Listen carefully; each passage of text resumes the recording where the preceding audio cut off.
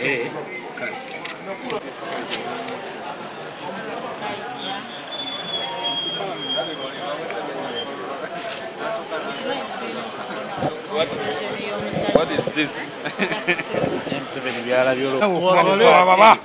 For ghetto youth, I can also blow them. Pa, pa, pa, pa, pa, pa, pa, pa, pa, pa, pa.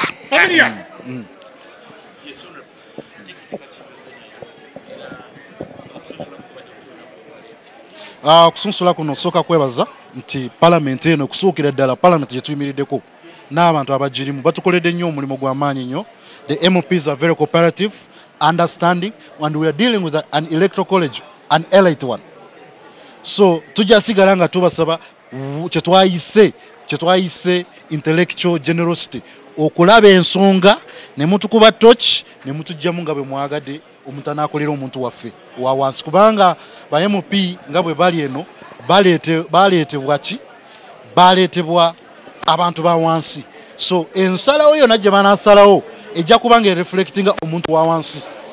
Tewali nti noono oba mu ali mu kala yelo oba takyaleeta ku tebo teyeetagisa genda mu palamenti oba tusobola okutukuba mu toki ne mutulaba tujja genda mu palamenti ya east africa tukolere abantu baffe i'm happy to associate with the ghetto residents through my brother and the leader of these ghettos I've been there before. I've worked with them before. See, tuzze just katemba. Tuzze kubalaga there is some solidarity we have built and we have to continue it.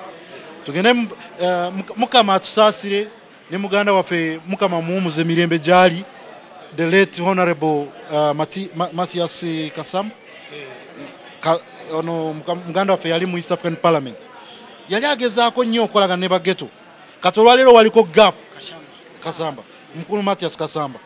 Eh, e, kati waliko gap. Now we need mps abagenda mu mu area zino. Ne wano ku ground abaliwo abayambako nnyo abantu bano. Projects gyeziri ebyokukola bingi webiri tusobola okukola nabo let's think so hard for them.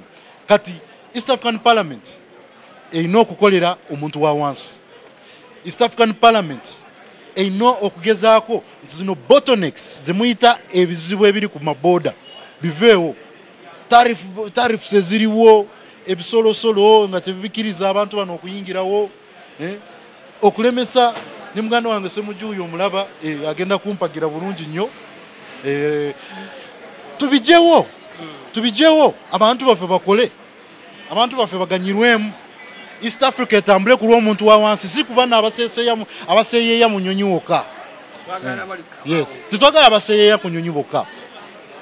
Ground ground people. Ground ground people. Mamirira. Nina ekintu